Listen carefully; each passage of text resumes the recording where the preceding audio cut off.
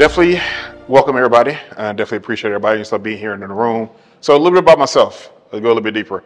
Uh, I'm a software engineer at heart, so I'm a problem solver at heart. I can kind of, you know, the beautiful thing of being a software engineer, you know, you can build anything you think of.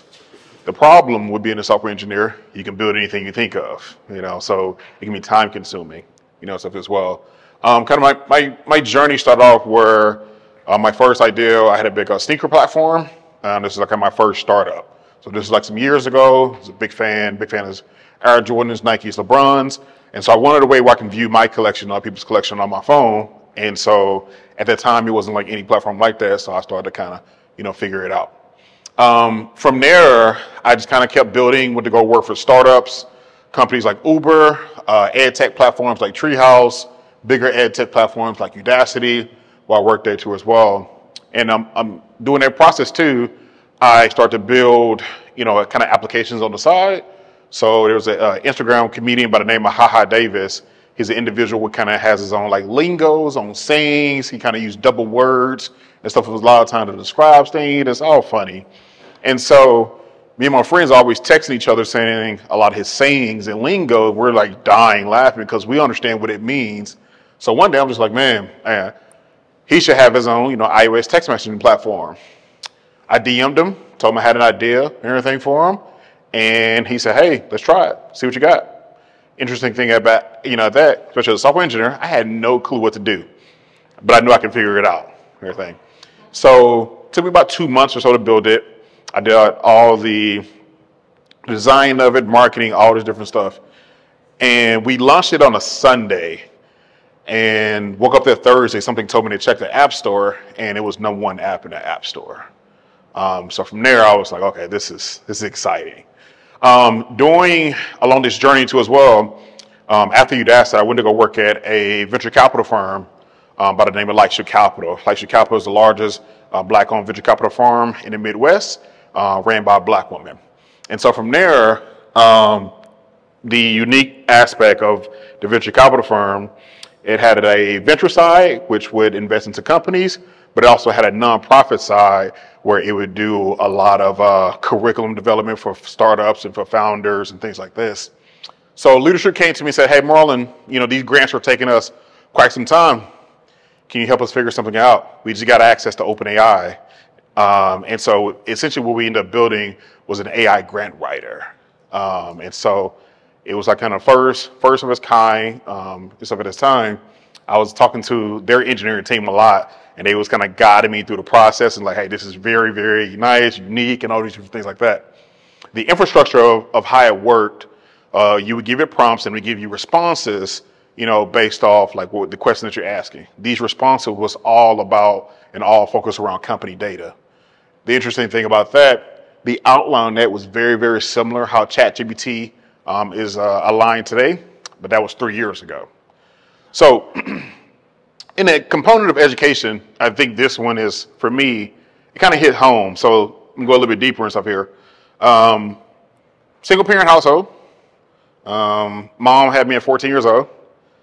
Um, pops and everything was incarcerated for quite some time, and she was doing their process.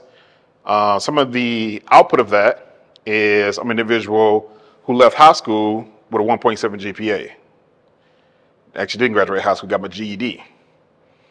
And during this time, you know, my focus was basketball and girls. What I didn't know is that that was my main focus because I didn't understand at that time how I wasn't being challenged. During that time process, I would look at the curriculum for the year, and if I knew I could do it, I'm, I'm checked out. Everything. And so a lot of times in education, we don't have the ability to do tailor-made uh, curriculums per student. It's very challenging. Typically, you have one teacher in the room with 25, 30 students. You know, it can be very, very challenging. And so, so with that, I always knew everything um, that I wanted a way where I can kind of like tailor make some of these things to, for, like for myself. So fast forward, and you know, end up going to college they sent my first. I went to start with Middle Georgia College and end up going to Ave Maria University over there, over there uh, on the West Coast in Naples.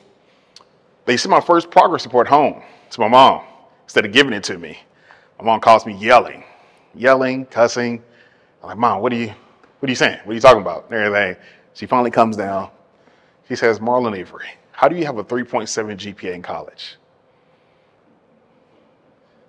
What happened? And everything. I said, well, yeah, I want to play basketball and stuff. I want to do more and stuff like that. Now I'm, i want to kind of challenge myself. What I didn't understand uh, at the time, I was started teaching, I started reteaching the math courses at school. It was it was unintentional. So basically, when students and stuff would come, they would act, they were like, hey, this is not making sense and everything. And I would reteach myself and figure out kind of what their learning style was and how they need to receive information. And I would teach each individual student and everything uh, how they can get these through, you know, certain math concepts. I didn't really know what I was doing at this stuff at that time, you know. So with that, this will be interesting for today. So before we kind of go a little bit further and stuff here, like I said, we've heard a lot of things, buzzwords, artificial intelligence, AI, maybe machine learning, deep fakes, all different things like that. You know, these can mean a lot of different things, but it also can have like some empty value, you know, with it too as well. So with that, tell me some of your, of your concerns with artificial intelligence. What are some things and stuff that's kind of maybe worrying you a little bit? Job replacement. Good. What else? Security. Security. Elaborate. Sorry. Elaborate. I mean, like, like, I mean, cybersecurity, maybe prevention, uh, or improving, finding other ways of, of uh, coming up with some cybersecurity. Mhm. AI Cybersecurity is going to be a big one forever. Like privacy. Privacy, identity theft. Yeah, just in regards to the data, all, uh, yeah, just data in general, because it's using that data to train itself, so Mm, has access to it, it's using it, yeah. in most cases. Uh, yeah, it's pretty it's thing. Large language models. Yeah. Yes. Yes. What else? I think before I go there, I think cybersecurity is probably one of the most interesting lanes for artificial intelligence, in my opinion, because we're seeing we haven't been able to figure this out now. The MGM just got they got just got held ransom for what 15 million. I know we're, we haven't been able to figure this out now. You know, so also too, you know, tools like this is typically they don't have any good evil side of it. It's always human intention once you kind of put that tools in you know individuals' hands. I think they call it hallucination, where it's become very reliable and uh, we rely too much on it, believe it without evidence. hallucination, making up things with confidence. You might, you may ask you something simple, you know, as as, you know, can you give me a biography on George Washington? And it adds a sentence in there that it got from somewhere else that has nothing to do with him. You know, or just completely just make up something to add in in there. Hallucination is definitely a problem. Probably be a problem for a while. False information. False information. Yeah, you have to validate your account, like, you have to make sure that's like, for Yep. Anything else? You're missing out and um, limitation, um, access to data. Access. Hmm, I like that one. Because it, it, it's interesting too, because in my time of living, building, working, I don't think I've ever seen a technology be as open. You know, when somebody typically kind of gets their hands on a superpower, they kind of get close to the vest. Now we're seeing open source things. You know, Facebook uh, they put out their their model Llama 2 and open sourced it for commercial use. I don't think we've, in my opinion, I don't think we've ever seen anything like this. So, with that, got a question for you. What innovation was blamed for a rise in crime, causing something called brain fever, and destroying civil society? Yeah, people from last week got to be quiet. Internet? Good guess. I mean, that, that has caused a lot of, you know. rising crime. I go, in, I go into a second with brain fever me. I mean, everybody talked about the good thing about the internet. Mm -hmm. Yeah.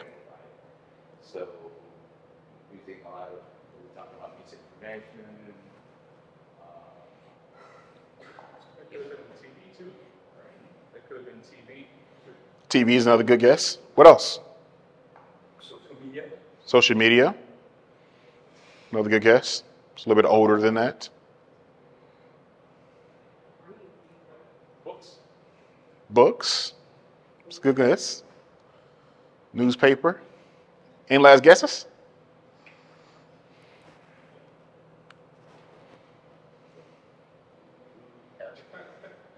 The elevator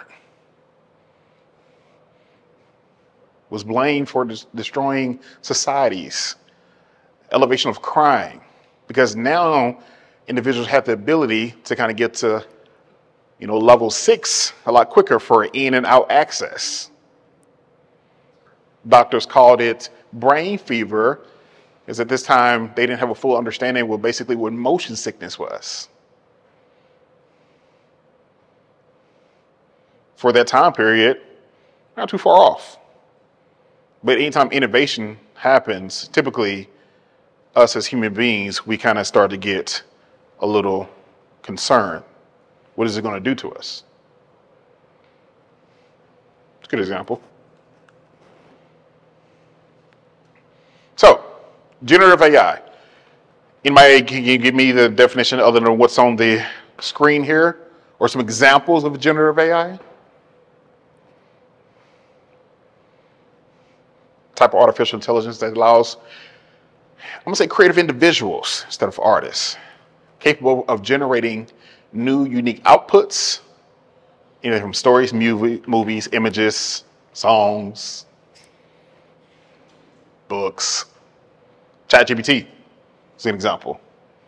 You know, we got Bard stuff now. Yes, it's a good example. It's a part of text. GitHub Co- Copilot is a it's a uh, a software engineering coding assistant. You know, I use it a lot, a lot, a lot. Fun fact for you too, as well. Um, there's a platform called GitHub, which basically is a repository for you know for people to store code. Forty-four percent of all code on GitHub now has been AI generated. Speed. It's only been, yeah, it's been 18 months. Has it hasn't even been that long? Yeah, I don't think it's been that long. I mean, ChatGPT came out in Dec- November of last year.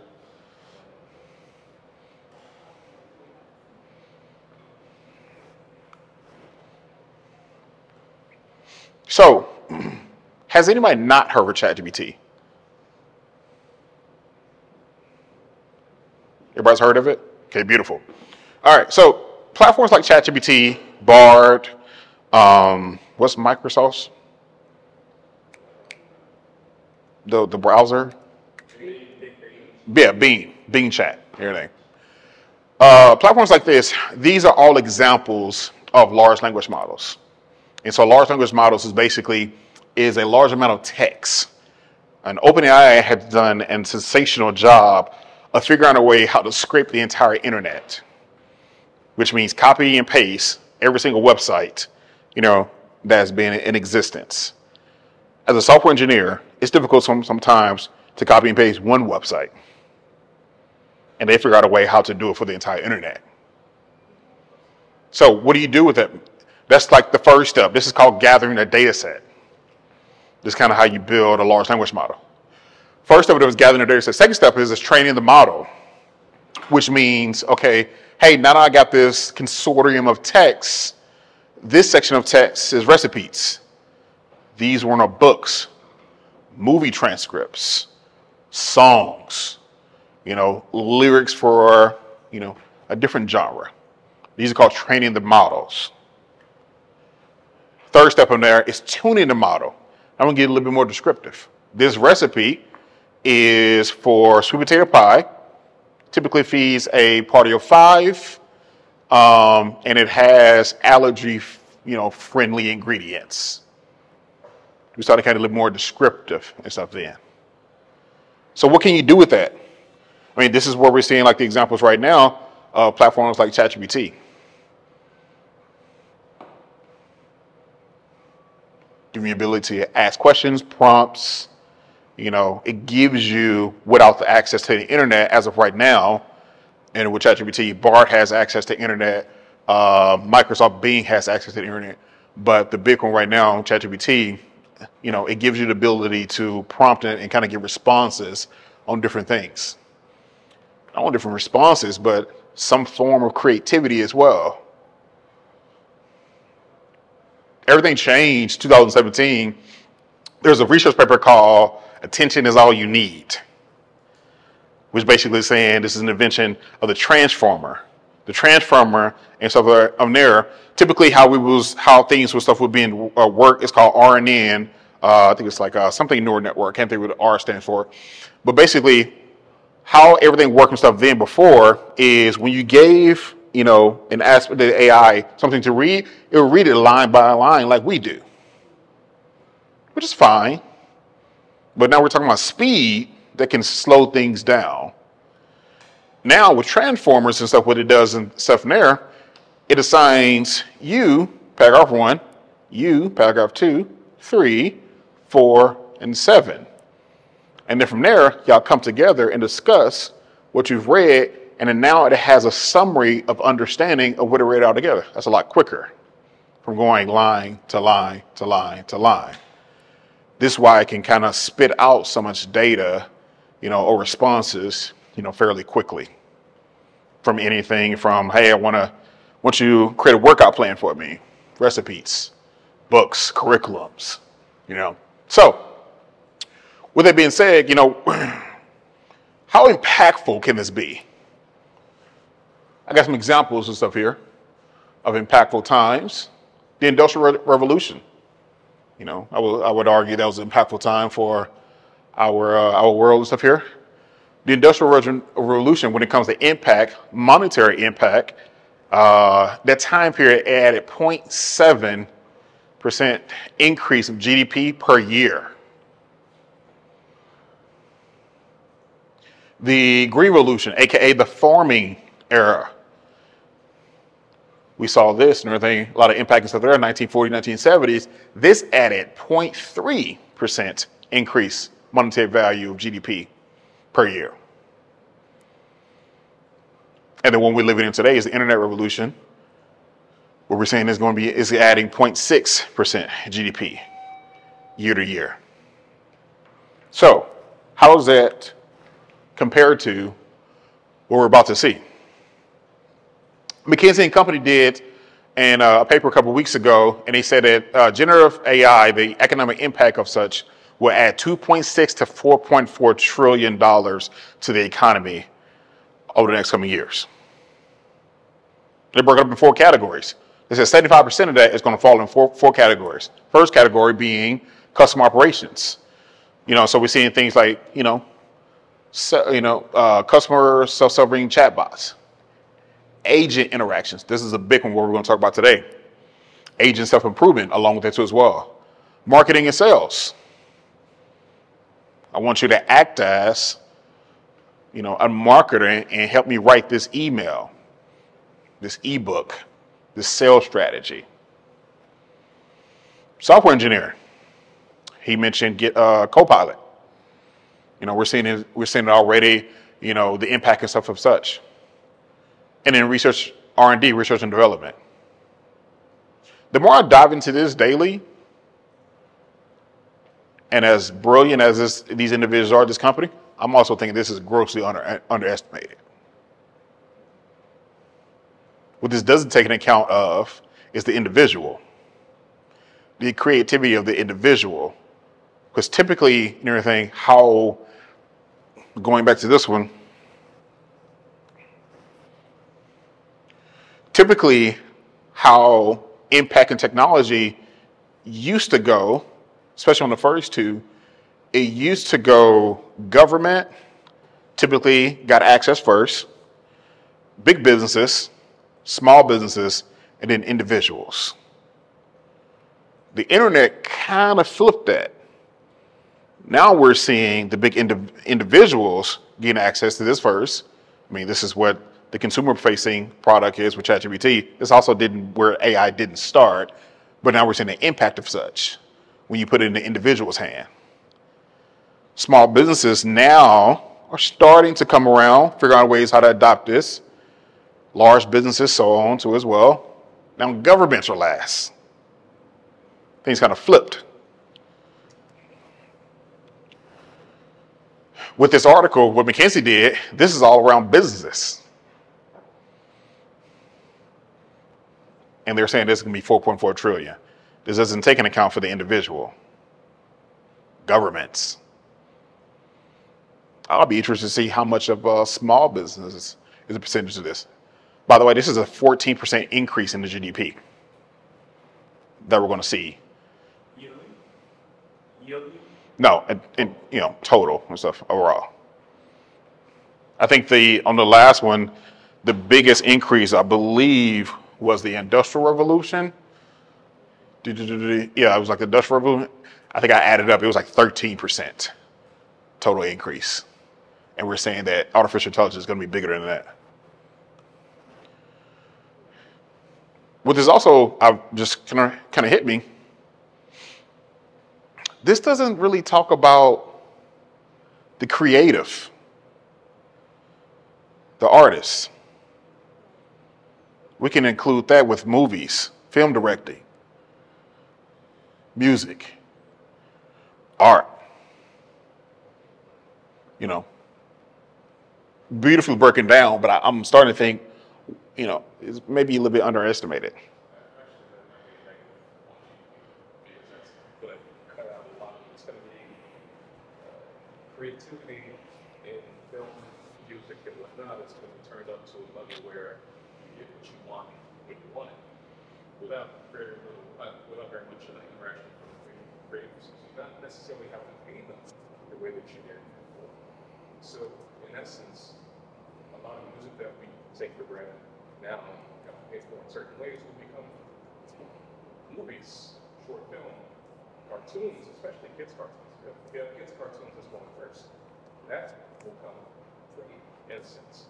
So the volume is going to drop out of that, where it used to generate, it's not going to. Turn me up a little bit. Turn me up a little bit. I would challenge that. I like it though. I would challenge it. We saw this with um, what's the music company that started off? Napster. We saw this with Napster. That process started. Everything where basically it showed that the consumer wanted free music or crooked access, you know, to music. You know, um, innovation is always going to happen. This laid the foundation for Spotify to come in, Apple Music. You know, you can even argue Netflix, you know, in a way. Innovation is always going to happen and stuff with that. Even with a game changing principle of people are showing, like, hey, the Drake AI song and everything, we like user generated music, but that also still has to live somewhere. YouTube, maybe you put it back on Apple Music. Does. Look, look at it like this, right? You have, you have these large language models. Hmm We get to the point where people are looking at hosting them themselves, right? Yeah. Before it was, uh, now it's, people are like looking off. It's kind of close to home. Right.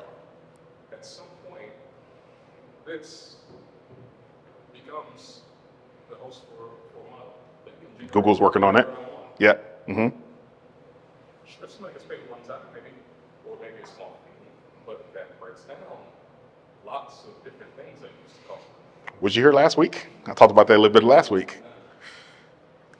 I believe, in my opinion, and everything, since the internet has flipped, you know, everything with everything, like I said, when it comes, comes to innovation, typically before it was government, big businesses, small businesses, and then individuals, the internet has kind of flipped it. You know, I think also too that will be flipped to as well when it comes to things like large language model because now it gives the creative access to kind of become their own entity. You know, we're seeing this. You know, this this may be not it may be may not be consumer friendly, but we're seeing this in lanes like OnlyFans. But I also believe that those individuals would also become their own business. They become their own brand. I don't think it's going to be live as like a one person organization for quite some time. It's going to need help in certain different ways. But it kind of goes back because now you have to hire people, adding back to the GDP. Creative, no, consumer, creative, producer. Yeah. I mean, think about the, uh, and, and this is okay. Think about the independent artists today. You know, the independent artist and everything still has to. Uh, oh, I'm sorry. Uh, you know, um, rapper, a rapper. Tobe's one of my favorite artists. Tobe New Tobe Nwigwe, independent artists. You know, Prince told us a long time ago you need to start owning your masters. You know, but that even that from that standpoint, his creative work that he's producing still has to live somewhere. I mean, he can you know figure out ways to have to do it himself and everything, but you know, that's where innovation happens. You're still going to have these big businesses are not going to go away. They're going to figure out the way their piece to get, you know, get to that. But even with that, Tobe has figured out a way how also to employ people. Tyler Perry, creative, creative. Yeah. I think that addresses the point of the concern about access, and we see that today, you have more access, free, free access to all types of information if you want it. If you, if you want it, if you're paying attention, you're gonna have that access. And now, the, the main issue, especially for me, is how do you use it to get ahead of the game. So I think, yeah, the consumer is now has all kinds of to information. It's not that we weren't thinking about doing many different things, but now you have a way to do it. You have a productivity master in some way. You can do whatever you want if you know how to use it. Last week I talked about how the insertion of difficulty of getting started, or creating your own large language model, you know, having your own representation of your AI, that difficulty level, what it was before, it's coming down very, very, very, very quickly. You know, so now we're at a place where I'll show you some examples here in a second, in a second, how you can start using these things, you know, starting today. So, this whole series is based around like, you know, AI has become the ultimate assistant, you know, in every aspect in our lives. You know, so like, I said, last week we talked about education. I'm sorry, last week we talked about founders. This week we're going to talk about education and so on and so on. But I also believe we're, we're, all going to have an assistant where it's going to be an assistant to helping you find your next doctor, food selections. You know, we're already starting to see that already without already know it. Gmail has become our assistant, auto completion, Tesla, driving assistant, flying. You know, fl- uh, flight attendants have, you know, their flying assistant. 90% of the time they say they're not flying. Like manually, you know, you know, flying. So, what makes all this different than typically something that we've known and stuff before? You know, what makes these large language models different? You know, in my opinion, the biggest, the main three things that makes these difference is the ability to make it your own in some type of way. In three ways. Systems, user, and assistant. So system is like an example of like the ChatGPTs.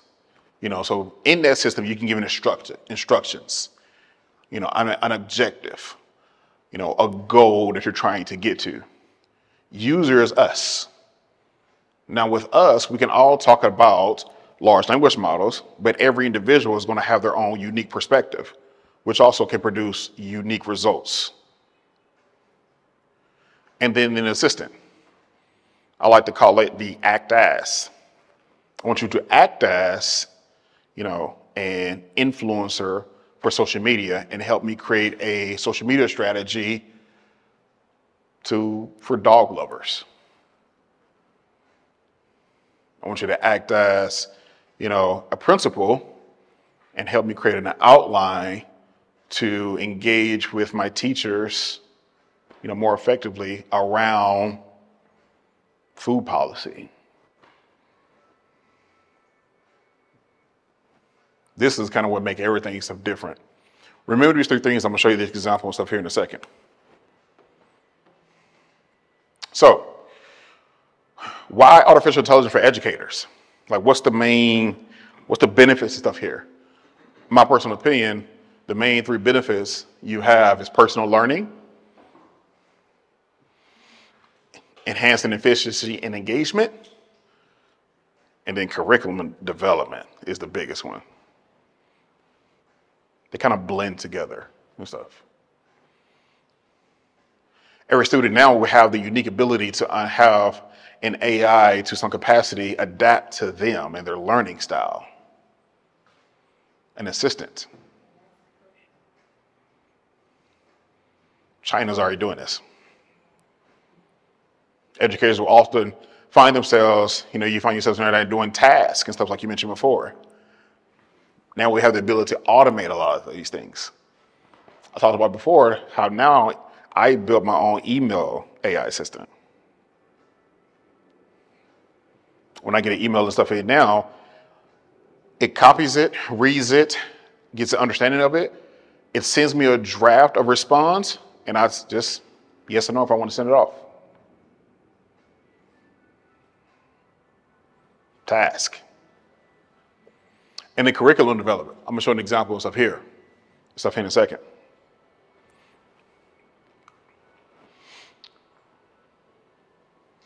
With all this though, all this is going to be hit to a place going back to what he said earlier is we're all going to have a decision to make as we move forward buy it or build it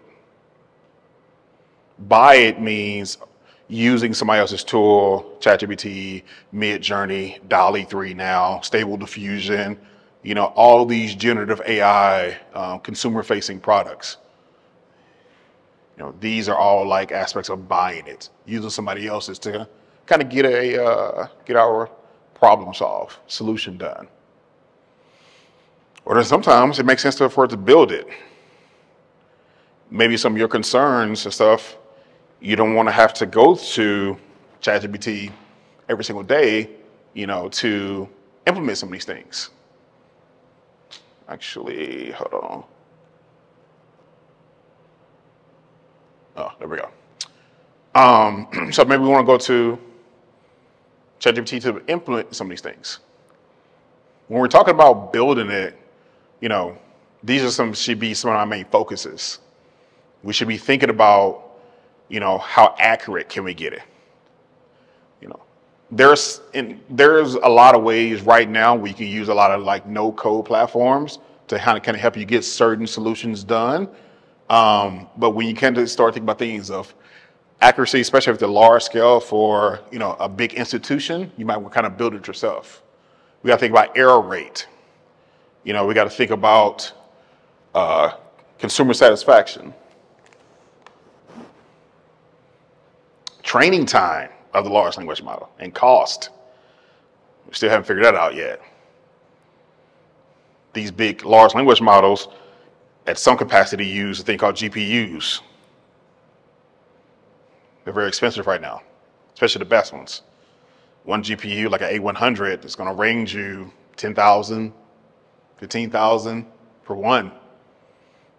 It's rumored that uh, OpenAI, their GPT-4, they haven't said it publicly, but it's rumored that they use about a thousand A100s, and it took about two months for it to train it for GPT-4. It's rumored. I know a buddy who works there. I, am not saying that he told me or she told me. Um, cost savings, turnaround time. These are some of the things we got to think about when we're talking about building our own. So, for implementation when it comes to, actually, let's do this first. We'll jump into some examples and stuff here.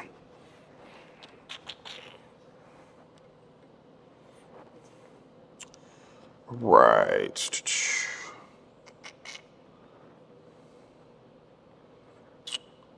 Okay. So I got a few prompts and stuff here. I've got, so this one, so, you know, most everybody in the room has already said that they understand, um, you know, what ChatGPT is. So for people watching online, uh, ChatGPT is just simply a large language model. So it gives you the ability to give it a prompt, question, objective, you know, statement, and it does a thing called like basically probability, almost guessing your what your next word may, be. Um, and then from there, it can kind of give you some very, very creative responses and, and such. So this prompt and stuff here, I have. Big enough? So I want you to act as, um, this is like the assistant, you know, that we talked about before. I want you to act as an AI writing tutor, tutor will provide you with a student who needs help improving their writing and tasks um, to use artificial intelligence tools such as natural language processing to give the student feedback on how they can improve their composition. Um, you say you should also use your theoretical knowledge and experience about effective writing skills in order to suggest ways that a student can ex better express their thoughts, ideas, and writing form. Uh, my first request is I need help to help edit my master thesis. Instead of doing that, because I don't want to copy and paste all of that, let's do um, let's go with my article. Okay, so let's do we'll do this. I'm gonna take one of my articles and stuff I've written.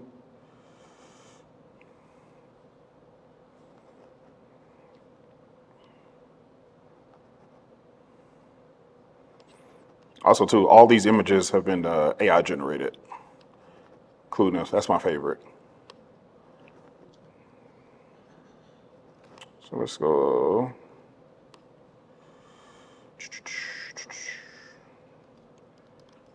All right.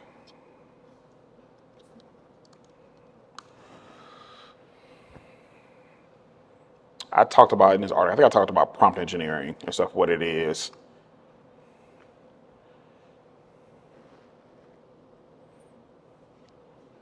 So look at this. It says your article is well structured, informative.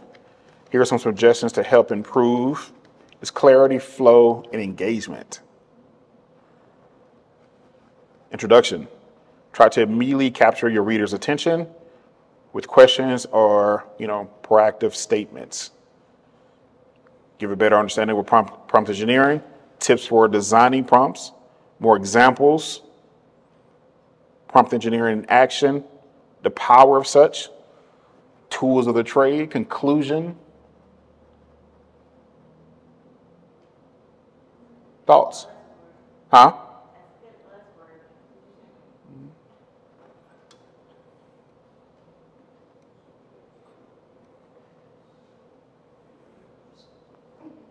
What's that?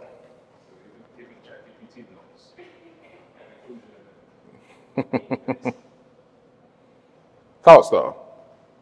I just gave it a, few lines and then I gave it some of my data, things that I've written. And then basically I asked it to, hey, I want you to analyze this. Pretty good? One of the things is too, as individual was training and building large language models, it knew it would get an understanding of text. You know, it would get understanding that. And so basically, how the computer machine learning process works and everything, it gets words and it, it understands words as numbers. So the word between may be, you know, number 366 in, in its own dictionary.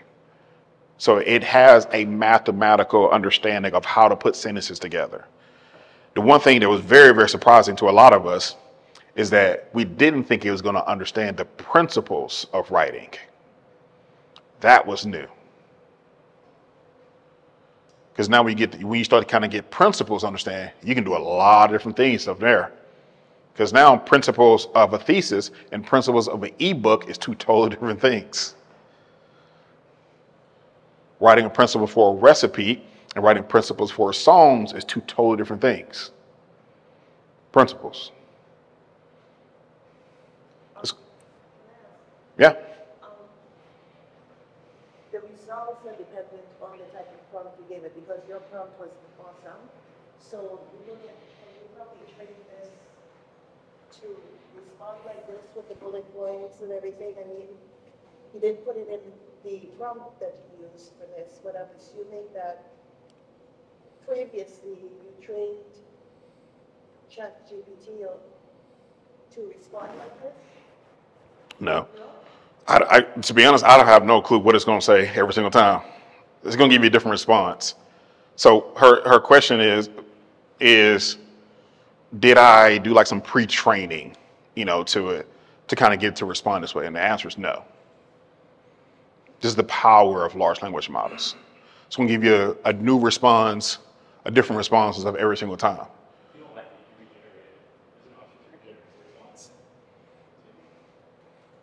Also to her question also with prompting or they gave it she's like give it a good prompt is how to write good prompts is typically three to four steps is give it a context you know questions commands statements um, you know be clear like he just said experiment try different ways and the big one my favorite one is assign it a role Uh, that that little thing right there is going to change everything Number four. So watch this. Are there any concerns with putting proprietary information there? Good question. His question is, were there any concerns uh, doing do, uh, using proprietary information? Absolutely. Yeah. So you can best believe and everything. There's an option now where you can turn off history, where basically now uh, OpenAI has said if you turn off history, they won't use your data to you know help train their models everything. But if you if you don't if you're not thinking about that and you putting something like your social everything, it could get gathered up in there, and for sure. So yeah, that's also too why big companies are now they're deciding right now if they're going to build their own or they're going to use like the enterprise version of this. An example is like Pinterest. Their engineering team, their stuff, they finally decided they're going to use the enterprise version of this instead of building their own. But now you see companies like Google, um, not Microsoft, well, Google saying, hey, we're going to build our own versions, buy versus build. So a lot of companies, individuals do have those concerns. Some are saying like, hey, you know, we can trust these individuals. Let's just go with it. Some are like, mm, no, I'm just going to, you know, use this and stuff um, in a different sector. But yes, there, there are definitely concerns.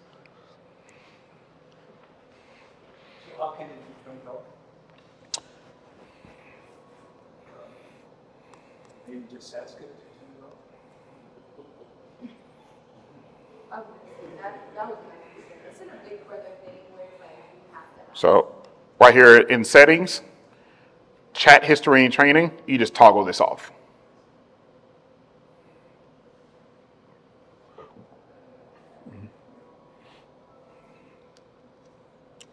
Um, There's something in the, uh, in that note, they delete the data from the system in thirty days.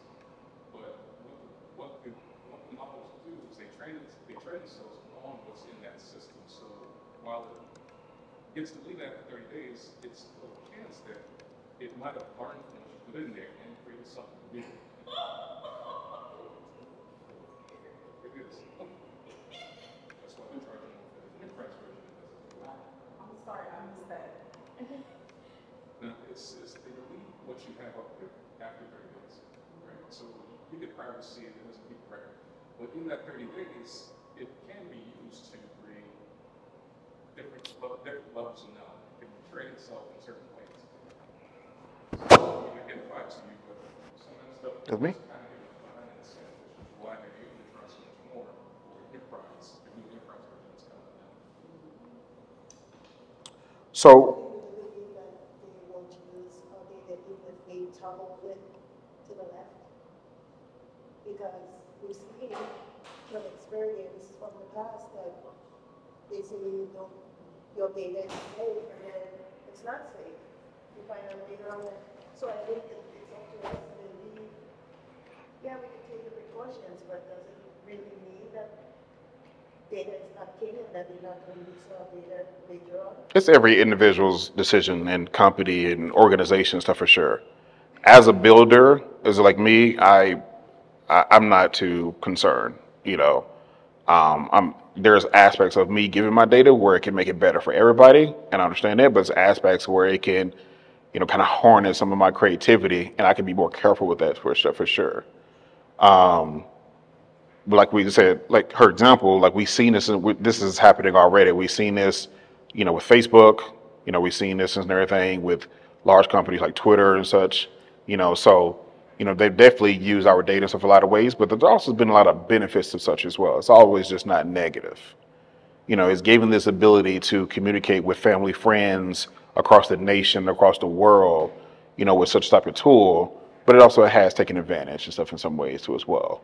So, you know, definitely, like I said, definitely think about, you know, information that you're putting it in, um, you know, per prompt, you know, per chat, you know, whatever it may be. Um, but also don't let that stop you. You know, be, have concern, you know, acknowledge your yellow lights, your red lights and everything. But just like the elevator, this is moving forward with or without us you know and so i definitely and this is why i enjoy doing these workshops and everything because my whole goal is to show you you know the ability of such tools and you know where it where it is going to go and how it can be used mostly on the good side and so for me because i just enjoy the building aspect of it. Um, but it also to like encourage you to find a way. So take take your yellow lights take your concerns build with it you know write your emails your concerns you know policymakers you know the europe act and stuff is coming here soon you know stuff like that. But don't let don't let it be a red light though.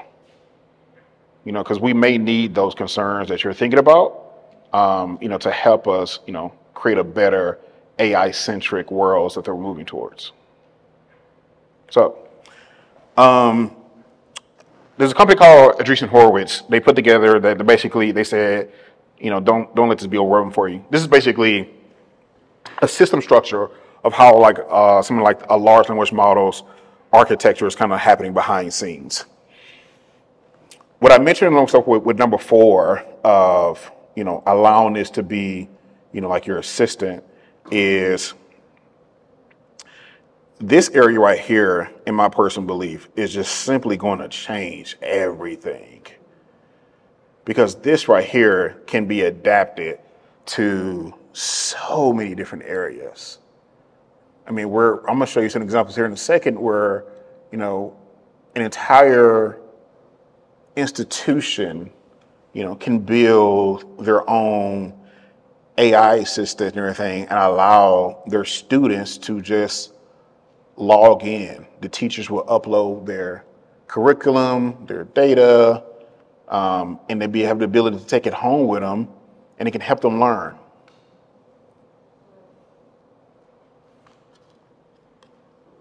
So going back here,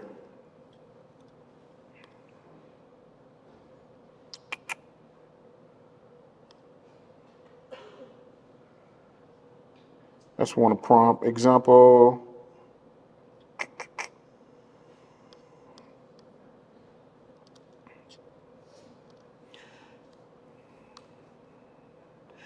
says the role and stuff that is being assigned here. So you are a quiz creator. Um, you will look up and how to develop low stakes tests and diagnosis diagnostics. You will construct several multiple choice questions to quiz the audience on the topic of the page. Uh, the questions should be highly relevant and go beyond just facts. Multiple choice questions should include plausible, competitive, alternative, uh, alternative solutions, and should not include all the above options. Um, at the quiz, at the end of the quiz, you provide an answer to key uh, and explain the right answer. Give me a subject. A class, I mean, a grade. What did she say? History. For what grade?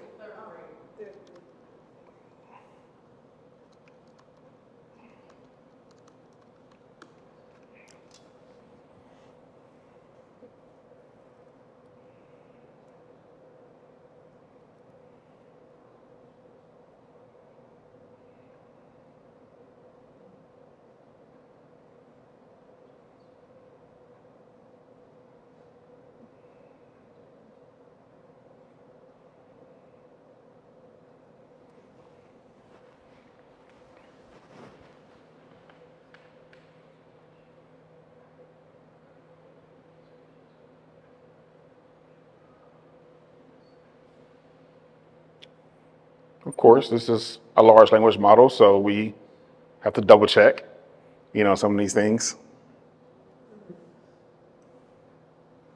One of the beautiful things of like these tools and stuff do now is they remove the blank page syndrome. As you're sitting there for 15, 20, 30, 45 minutes, whatever, think about where to get started or how should you align this, whatever. You can just kind of like, you know, start giving the prompts and stuff here. This can spark another idea, which sparks another idea, which sparks another idea, and boom, now you got it. Huh? Well, It's constant ideas, it's constant entries, it's constant, all the information that you could have possibly forgotten or wanted to add is is there, deeper in these sections. It's almost like you need a personal editor to stop yourself and put yourself away and say, okay, I'm not. I don't understand what you mean by worse. Elaborate. And Remember, I can't, I can't hear you really well. But you said you said it could- it could be worse. Oh, it's, it's worse because now you have everything at your fingertips. Have all the extras that you could possibly add to your quiz or your paper or your report or whatever. It's, it's, you need a self-editor to pull yourself back and step away and say, okay, that's, Wasn't that the definition of the internet? I mean, thi- you know, we've already been doing this with the with the internet. Again, there's pros and cons to such. I would hope everybody and stuff that drove here didn't print out MapQuest to get here.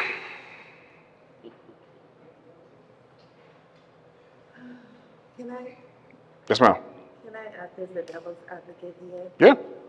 I don't, I, I'm, the teachers already know how to do their quizzes, and by the way, they just regurgitate the same quiz because the curriculum hasn't changed. right? Hmm. My concern is, how do we, kids are checking out from this.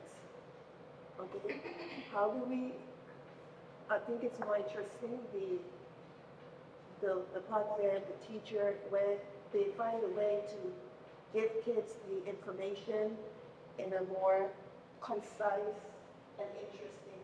And that is the human intelligence part of it. So maybe it's a combination of those two things, but they've got a load of of different types of these tests, quizzes, every day, every moment, and kids are checking out. So Okay. So watch this. more interesting, more interesting thing for, I think, stu- the more interesting way is to figure out how to engage kids with this curriculum, not the quiz, because they're getting quiz on the Wazoo right now. Okay. So watch this. Come here real quick. Come here. Come here. You call me? Yep.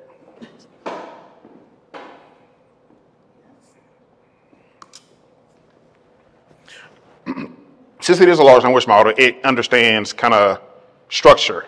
There's a structure called JSON, which is a, a text structure where it can understand like multiple things. It kind of takes everything in doses and almost like a brain. Everything.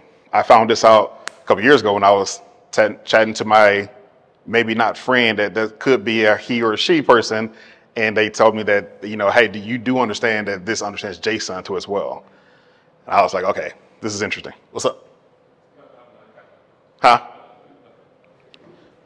so this is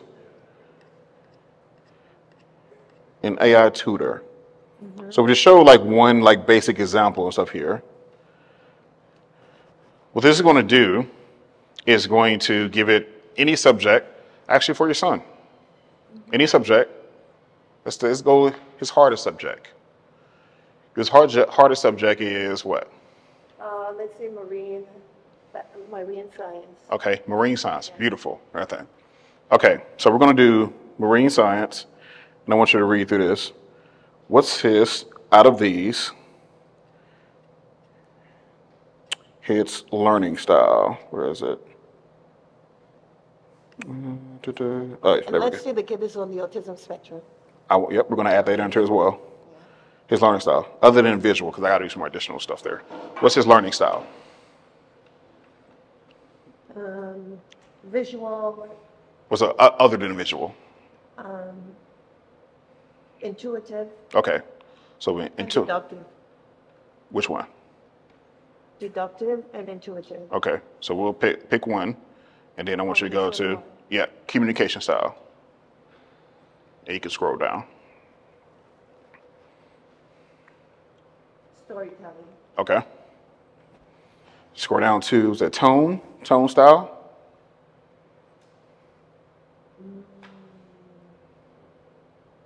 Can I do a combo of informative and friendly? Um, actually, yeah. Let's see what happens. Yeah, because it's never one way. And then reasoning framework.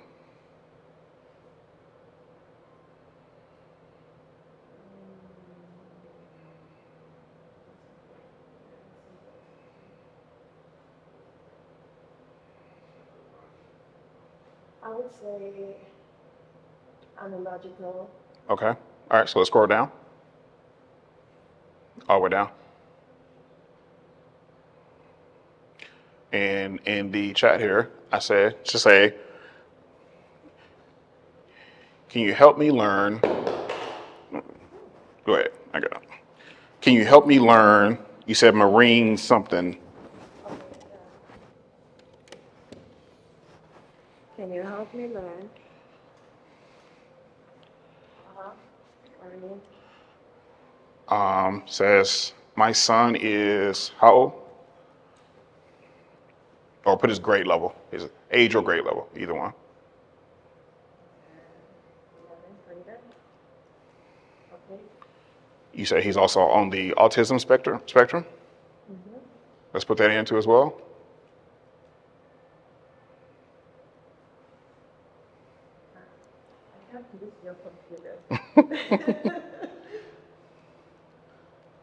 I have to use your computer. Did I spell it wrong? Yeah. Yeah. Okay. Now let's just do. Can you explain it like a fifth grader? We'll get to that. Put in. We say his learning style was. You can you can just type in learning style in like dash or whatever it may be. I can't remember. Um, visual. and Mm-mm. Well, other than visual, I, I gotta do some additional stuff there. What was the other one? Uh, you can scroll back up.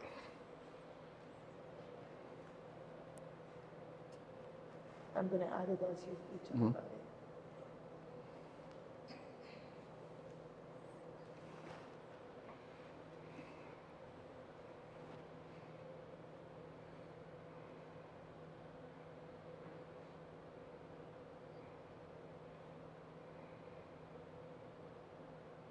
Reflecting.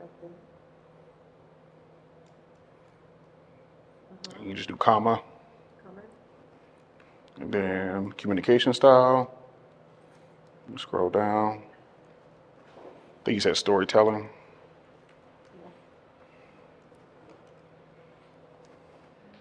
You do comma again. Tone style.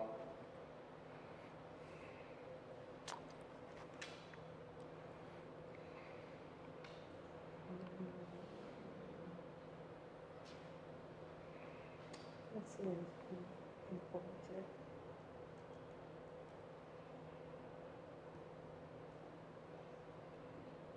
Okay, Come again. hmm Reasoning framework.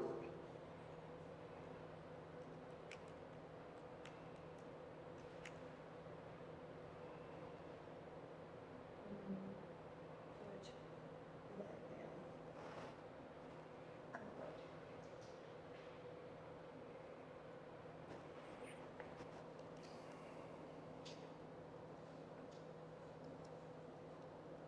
yeah. Okay, Okay, so we got, can you help me learn marine science? My son is 11th grader on the autism spectrum. His learning style is reflective, communication style is storytelling, um, tone, informative, uh, reasoning framework, analogical. All right, let's hit enter. And then scroll down.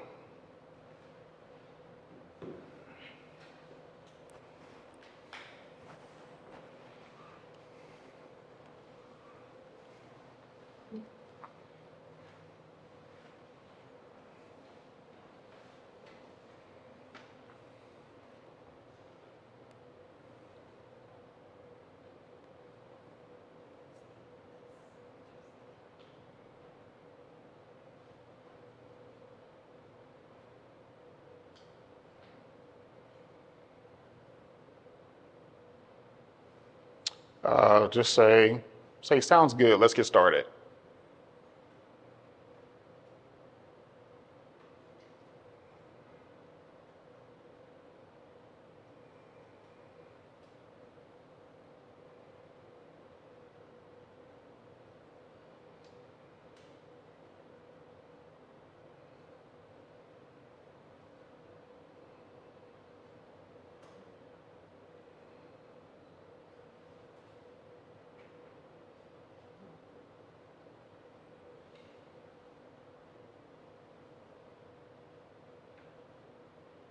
You scroll up back to like where it started, like on on this section.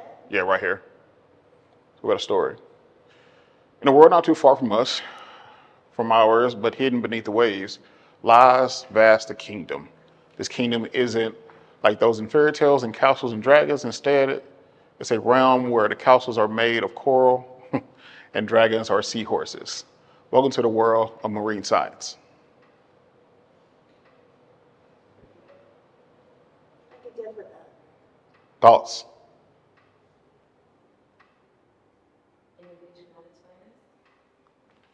Adaptable, of learning style, reasoning framework, all in storytelling mode.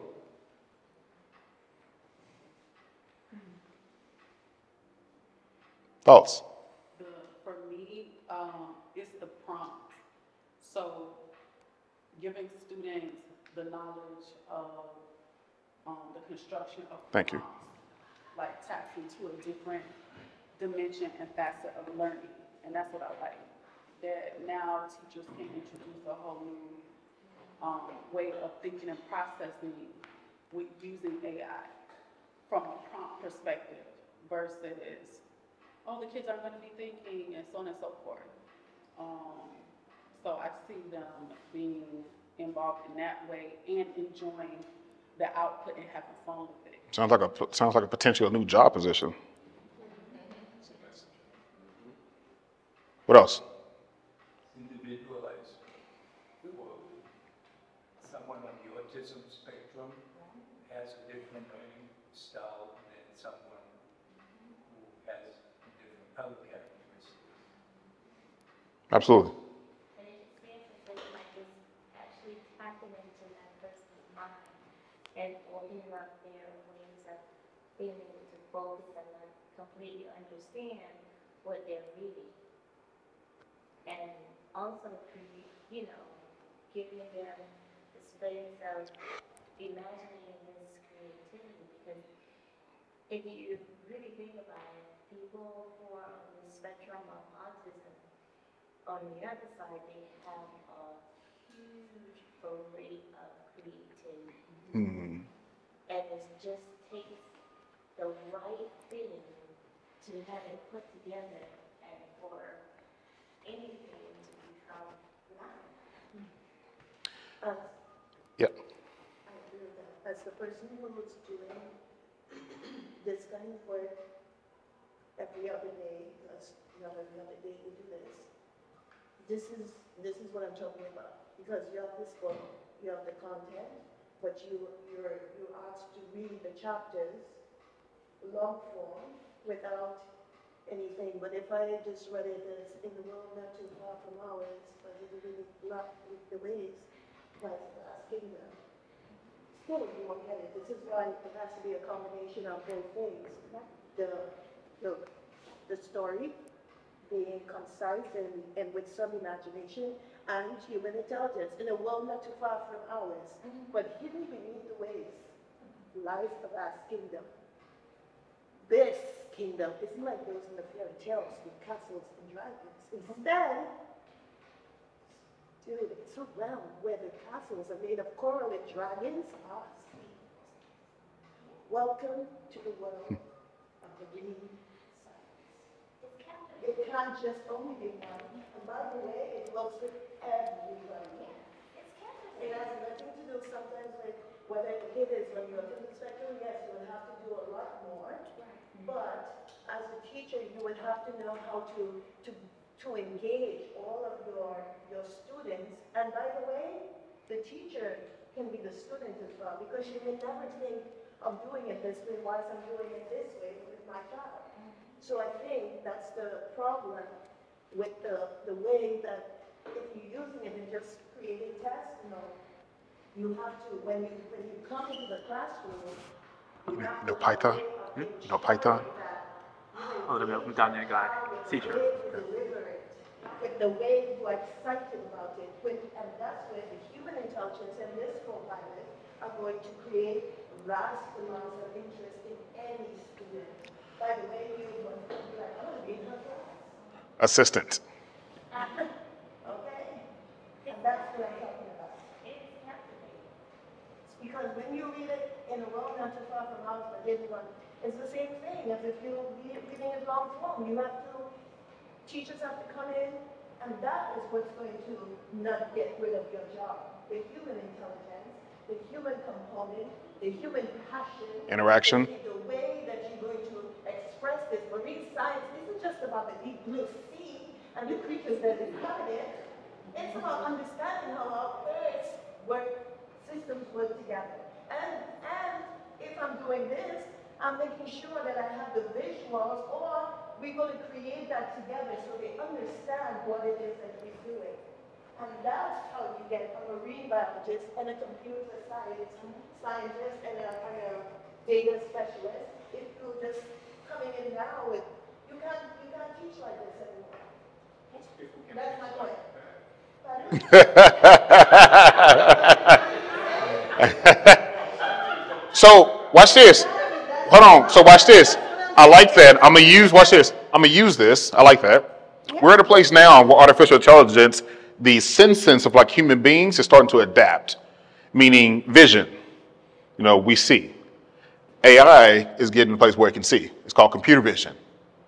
You know, um, speaking. We're at a place where now AI can speak and everything.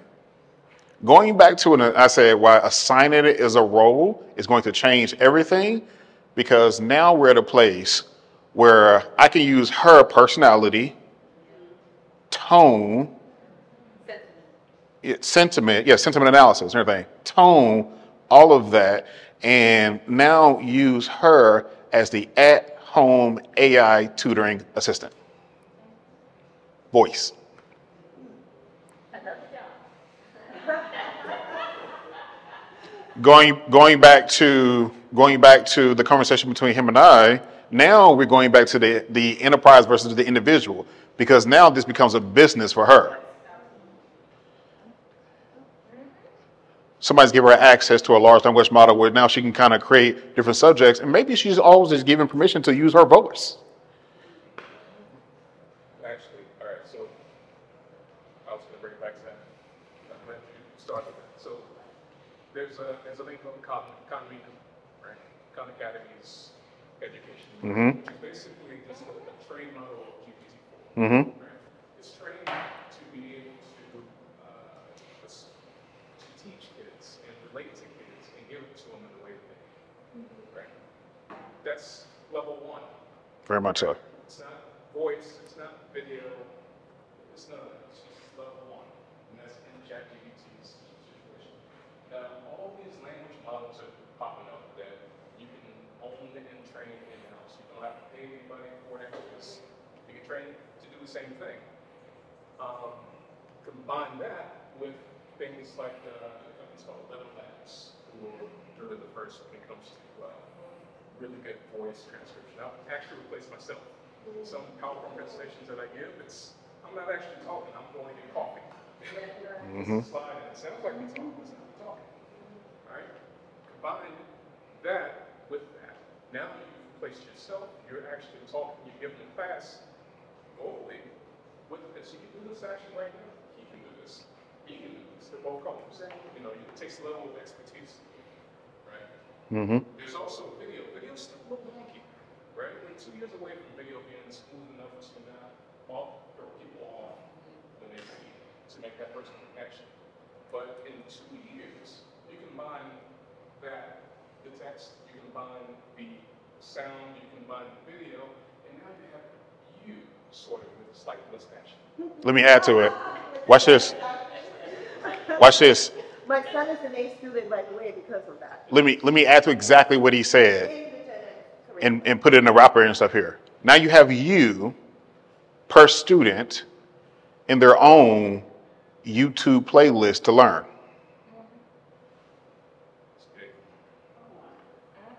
This changes everything. By the way, he said, so like what I showed before was like just kind of giving it a prompt, a simple prompt, and showing, you know, what it can do and give you a response. So, you know, it's multiple prompts and that can be done that. This is like kind of like an advanced one. Like you said, I'm a software engineer. Let's go a different level.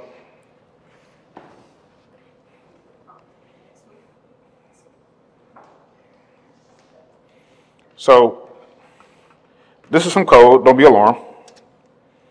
Um, yes, I know the API keys there. Don't kill me. Um, so what happens?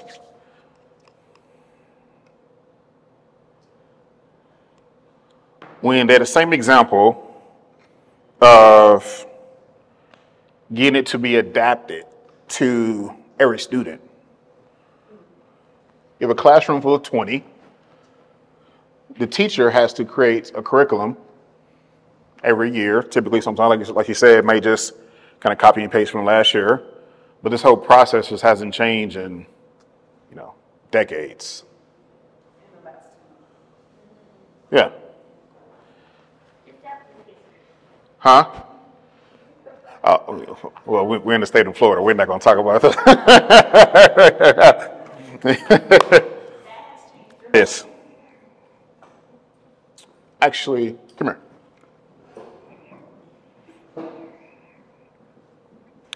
So I written this and I've said like, hey, you know, I said, hey, there's a level I want to start at. There's learning styles here. You can say it. Same thing, communication styles, tone styles, reasoning framework. Watch this. Going back to the role, I said, says, hey, you are an expert learning strategist in building curriculum for all students. Based on student data, I would like you to create a 10 week curriculum along with homework assignments, quizzes, um, to make sure the students learn effectively. Uh, uh, and again. You can have a seat.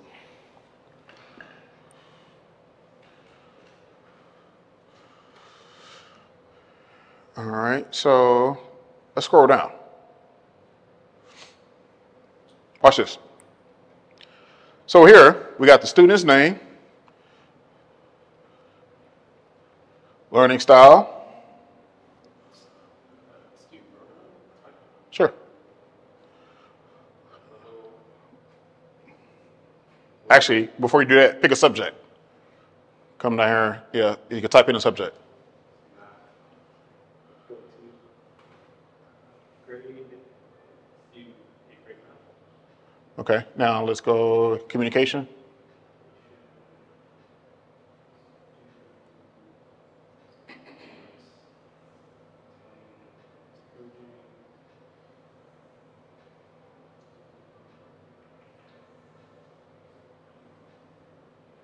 All right, hit uh, submit data, and then add another student.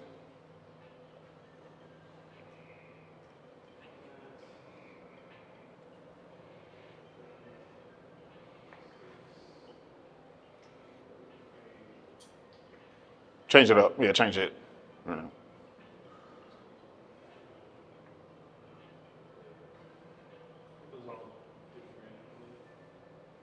Hit submit data.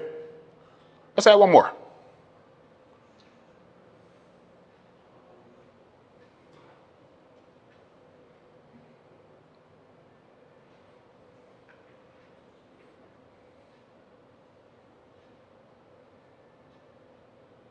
Submit data. And then double click process data. Okay, give it a second. So, just like we did in the prompt and stuff there, the only different stuff here, I built this out as a software engineer. I've asked OpenAI to I'm gonna say, hey, let me get access to your API. It's going to take a second. So to get access to the API. And what I want you to do is, I want you to follow these instructions per student. Scroll over down. It's still going. Yeah. Okay, there we go. So not yet. So it has Jameson's curriculum. Put it in, just like in a Word doc. Now it's going on. Who's it? Matt. Doing Matt's next.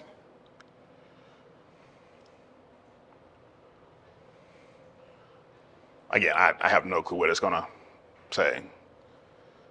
So, again, this is a new way. It's not perfect, experimental, but you see the gist of it. How this can change everything. Questions while we're waiting. I guess, uh, I think one for me, just speaking from like a, I guess, a software standpoint, when she was, uh, going on about like how it's being presented to a student, in my mind, I was thinking, it's like, it's just the client. Like, Right. once we have the data, getting the data, Right, we can present any way we want. Right. Right. So, Visual, vocal. yeah, it's, You know, we can, I mean, we're talking about now, I can integrate a platform like Midjourney and say, hey, instead of curriculum per student, create me a comic book and teach them a subject. Hmm? Next version, DALL-E, next month. DALL-E 3, yeah. All right, so we're waiting on John. there we go. All right, so folders over there on the left, left panel, up top,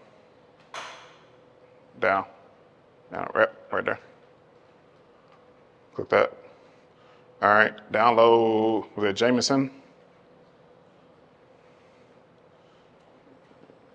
Can you respond downloads? Yeah, just, uh, uh, download Matt.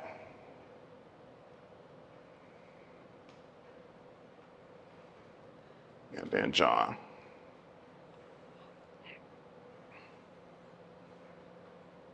All right. So let's go ahead and open it up.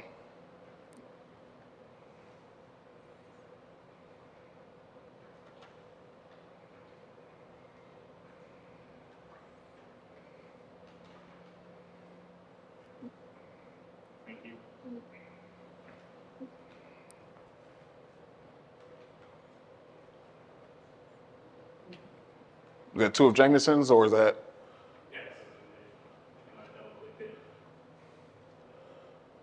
Okay, so we've got Jameson.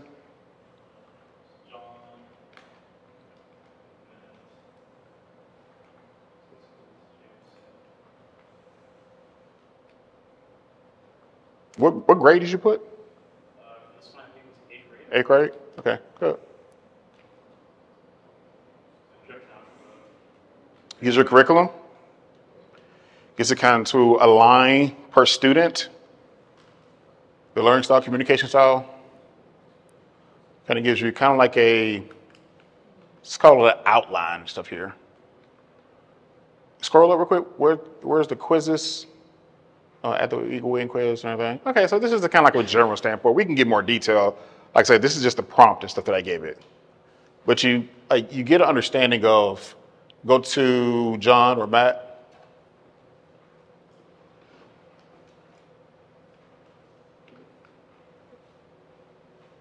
Matt's a little different. Does that matter, John? It doesn't matter. Yeah. Scroll down.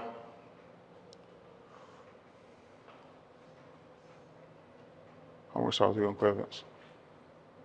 Nice little curriculum. Eighth grade math, correct? Like this one was six. Sixth, eighth, eighth, sixth grade math. And then let's go to the last one.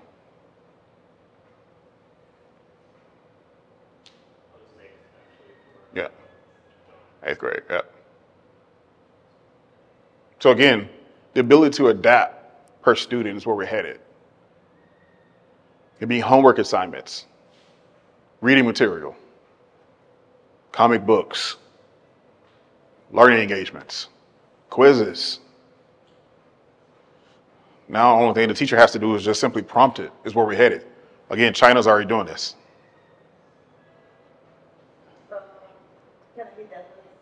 Absolutely.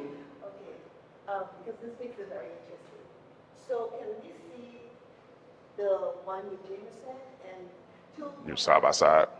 Side by side.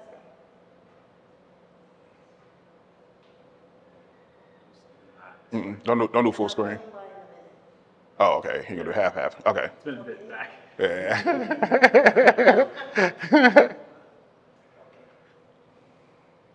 Introduction to algebra.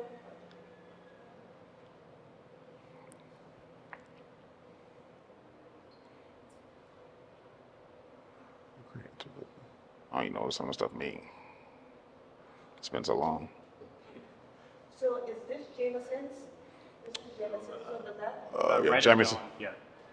Wait, well, yeah, well, other other way. Yeah, Jamieson's on the left, John's on the right. Yeah. On the level four, right, because we all have different ways of, yeah, Mhm. different understanding. Here's the problem. We have to take into consideration that the teacher goes with the pacing guide, and that's it. You said it. Say it again. The teacher goes with the pacing guide, which means that you have, within the first week, you have this one particular thing, then you have another particular thing, week three to four, week five to six is another thing, right? So, you see? Mhm. The, the, the, the, the instruments, how we do within the pacing guide, structure things in such a way that the kids can keep up, because if you miss what's happening in one to two, week one and two, and then you, the teacher has to go with the pacing guide, you have a student who's lagging behind, you have to find a way to be able to teach those two things. Mm-mm. Watch this. Do you change the teacher or do you change the prompt? You see the problem? That's the question. Do you change the teacher or do you change the prompt? but in this example, no, it's a it's a it's a great observation everything. It's saying right what you're saying. This is, this doesn't align up for the teacher. Change the prompt.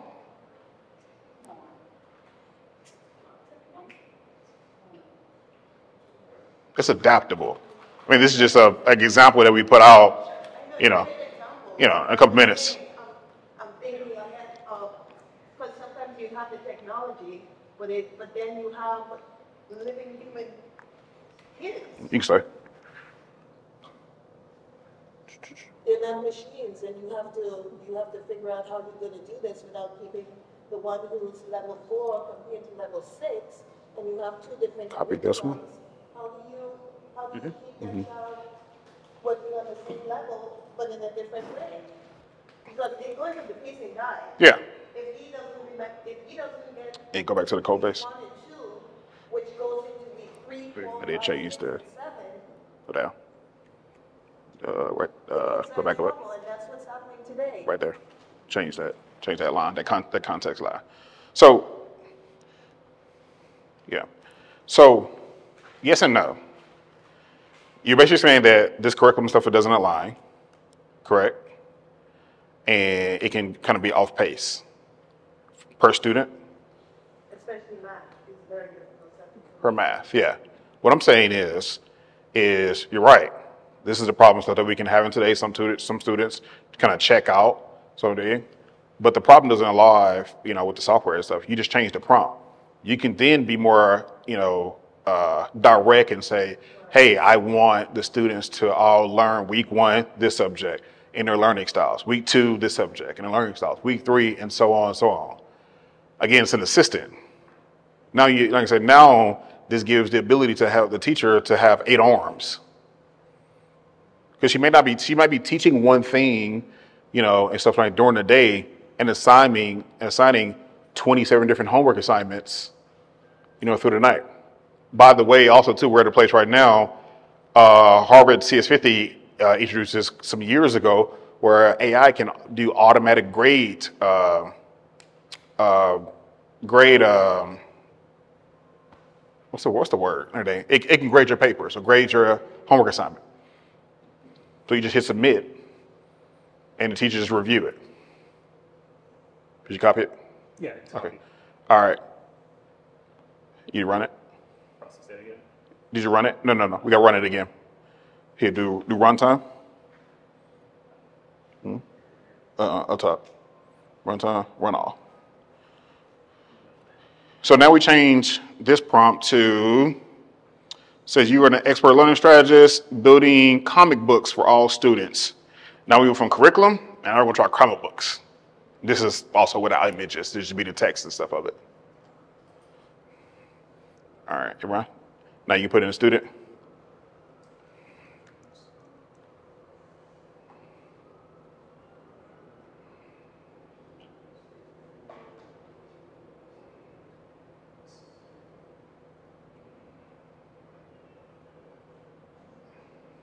Subject. Do history or something like that, something different.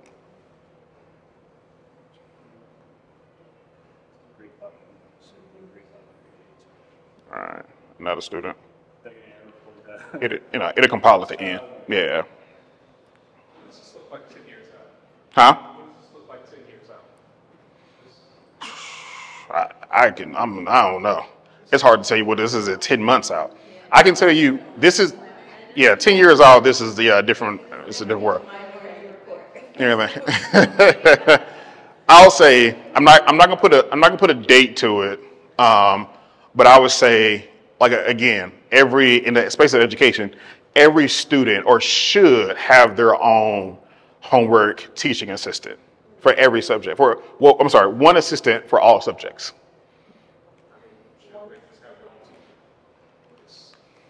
So at the I mean, we haven't solved, we haven't, we've never solved that problem. We're still a teacher, teacher uh, shortage. Well,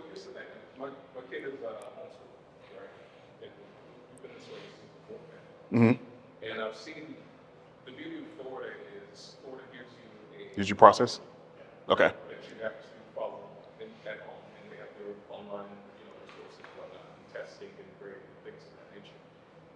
And we've seen that the Florida curriculum, when given on a one-to-one potential basis, can be done in two hours a day, right? So you look at the other, what, five hours, six hours spent in school, Mm-hmm. that's a waste of time. It- It's, it's wasted time. Teachers are running crazy trying to get everybody on the same page, and kids are picking up bad habits from other kids, mm-hmm. right? Now we have a, you know, I've seen this with my own child's side. I know what the quality, what the point of their curriculum is, where it takes you to. You, kids can go so much further than where our curriculums are taking them. It's just because of the way that we teach with 25 kids in a room, everybody has to slow down. Mm-hmm.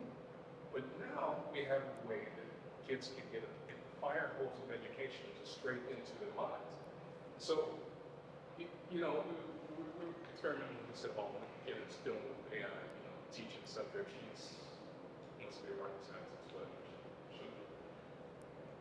seeing how this is working will fundamentally have to change the way we teach and make it so that, I don't know if we, we have kids put on goggles it's, you know, they're for three hours a day and it's one-on-one Plausible. with the teacher. Mhm. But it has to change because there's no way this translates well to the classroom. There's no way, it doesn't. You say it doesn't transfer over to the classroom? It doesn't trans, because you can customize the curriculum to each child. And because that curriculum is best served in a way that is not necessarily somebody standing up, on chalk. It has to change everything.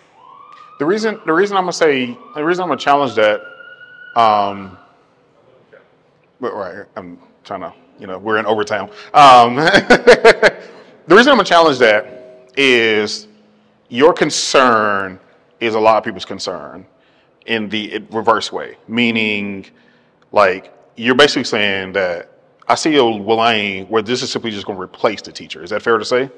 Okay. I challenge that is because the biggest thing of human beings, of what we need, yearn for, is human inter- interaction. We still need that, you know, in so many different ways. There's places and areas where we don't. We're seeing this at, we're seeing this example like with Domino's Pizza. Domino's is, test, is testing self-driving cars to deliver your pizzas. That's not a big area of human interaction. But teachers, I definitely see that this will stay around for quite some time. I will counter that one. Okay? When you have people, obviously, it's none of us in here, right, for lots of reasons.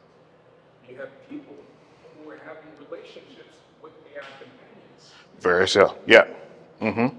They're getting their feedback and their self-worth and everything from their generation. Because AI companions are just actually taking over. Put it put it uh, all together. Um, you're right. I'm gonna challenge that again And I'm gonna say, as a parent, a couple years, mama. the parents are still the customer.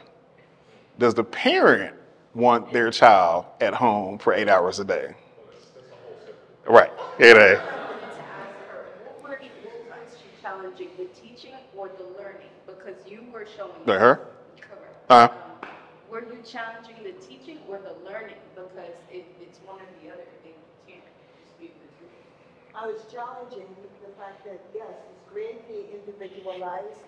Maybe the parent would have to do the individualized, because when you're in the classroom, you have a guiding pace, and that guiding pace says, in the first two weeks, you do integers, let's say. The second week, you do, and, and they do it, no matter if you understand it, and if she doesn't understand it, you're gonna still keep moving on. Go back to the code base. Go back to the- you know, go back to the code base. you have a guiding pace that you must follow, the child So right there. the, the focus. My child is the focus, so I do an individualized thing, and to his point, uh, if you do the Florida, um, you know, homeschooling, yeah, I think it's, it's wonderful, but for me, the human component, which is what he talked about, is very important from, from, for my child. I think for all children, because they're to go out into the world. And Yeah. that's the only reason he's in the classroom.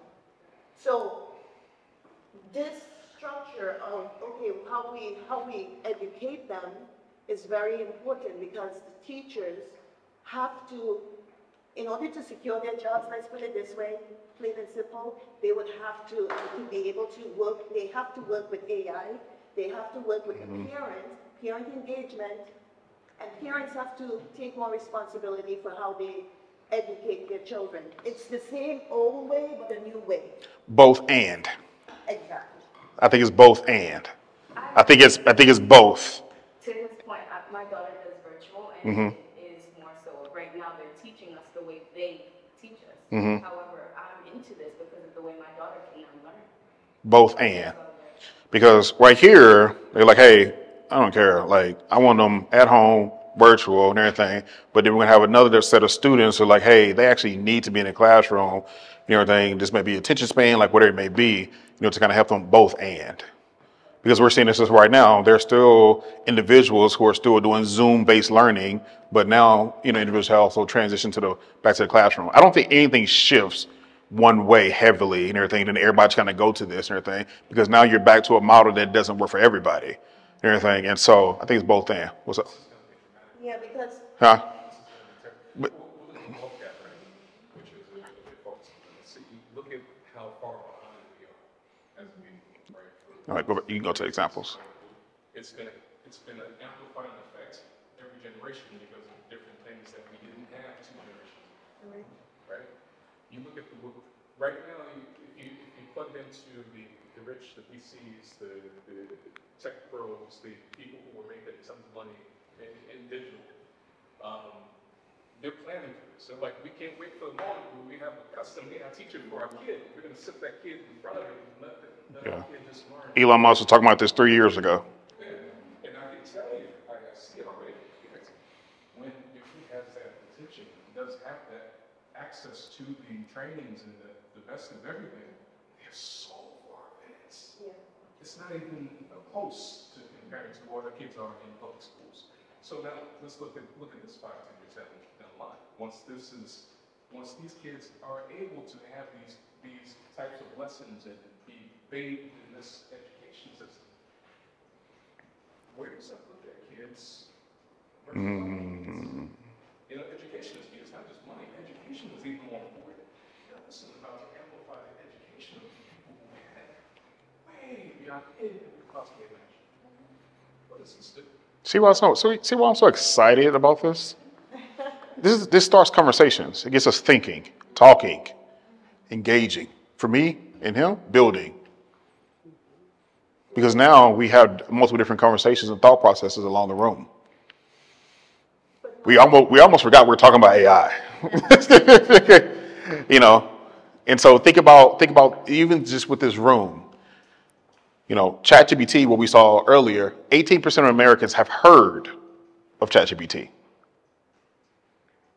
44% falls underneath the Asian and Indian community, 20% Hispanic, 17% white, 14% black, 18% Americans. It's obviously going to grow, but just think about what that does for this room and stuff alone. Now we have the ability to go home and say, hey, we're going to start this now. We're going to go back to that institution and say, hey, guys, have we started talking about X, Y, and Z? We need to start building this out.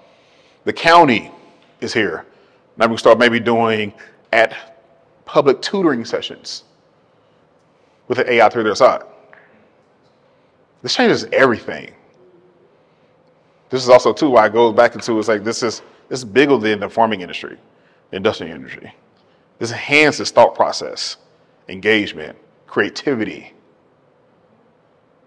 It, it forces self-assessment even in the student, um, because they're gonna get so in tune with themselves that they understand how to prompt, how to work with the AI to get their desired results. So learning becomes the, the art now, you know what I mean? Mhm. The art and science of, of, of a thing, they will have just like a new, um, a new, a new understanding of what education is. Because it's been shaped by standards and all these confinements, right? And now they're a more liberated way of. Combining, hold on, real quick. Combining these two and everything, personality, companionship, and everything. What does this do when you have an individual who now who's teaching finances? That's never been shifted. Now you have the ability to have an individual learn about finances in their own different way. virtual reality where they would have the illusion of being in a group of people with a group of people sitting in their room. Maybe that's kind We're talking about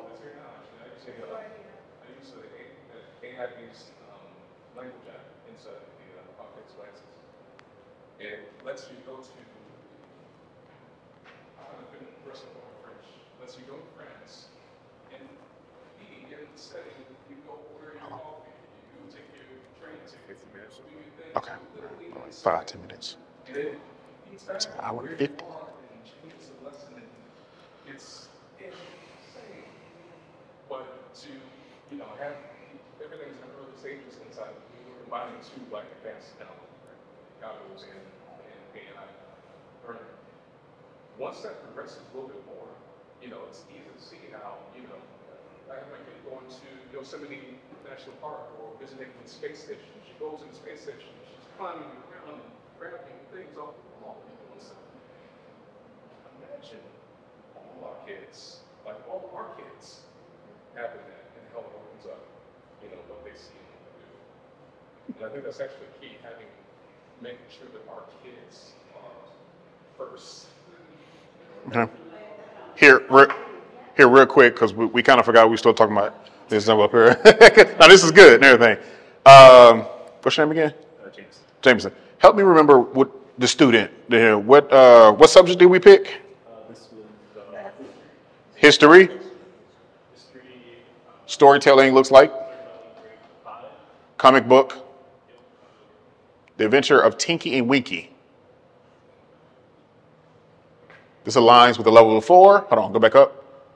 Uh, level four, focus on analysis, synthesis, and evaluations. The comic book uses a blend of humor and encouragement to promote a positive learning environment and aligns inductive reasoning framework.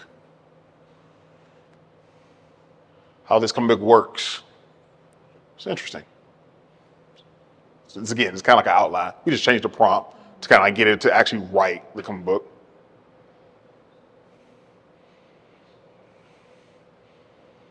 Timeline twist, a comic adventure through history. Character plot. Oh, this is really nice. Cover the art style. We'll probably copy and paste some of this and put it in Mid Journey, DALL-E 3. Oh, and also too. DALL-E Midjourney DALL-E Three is a text to image uh, uh, model, so you can give it a an um, a description of what you want. You know, enter in a prompt, and it generates new images. The time travel tales, the journey through American history. That'd be interesting, especially in Florida. But again, this is just examples, and I, I built this in like like four hours. I'm scaling this, where it can be, you know, more creative, more focused. It's completely, completely, completely doable. Appreciate you.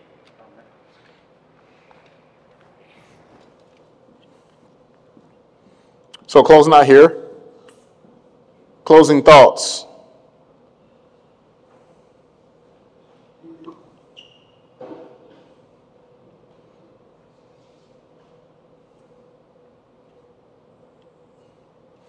Closing thoughts. For me, I think that Oh, hold on. I'm sorry. Overwhelming?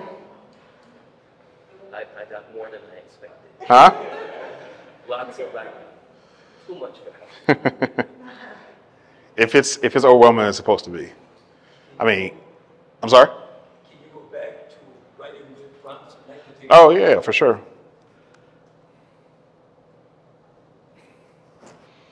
But if it if it feels overwhelming, it's supposed to be. I mean, as a software engineer, I, I'm overwhelmed. And See, I'm overwhelmed. But I've also told myself some time ago, hey, Marlon, you're going to be overwhelmed. Get over it. This is just what's going to happen. Let me ask you something. Yeah. Your, your knowledge is, is different. Like even though we're saying in the same AI world, you, you're looking at things differently. Um, you know, you have um, ChatGPT is what we were all talking about six months, seven months. Now you have Llama, Mhm. which is open source, and there's so many different versions of Llama and Spaces based on ChatGPT. Uh, people taking it and creating different uh, models and crazy things with it. Now you have Falcon, which is even more powerful than Mm-hmm. You know, you have all these models coming in next. I think one of the biggest ones is coming in Gemini.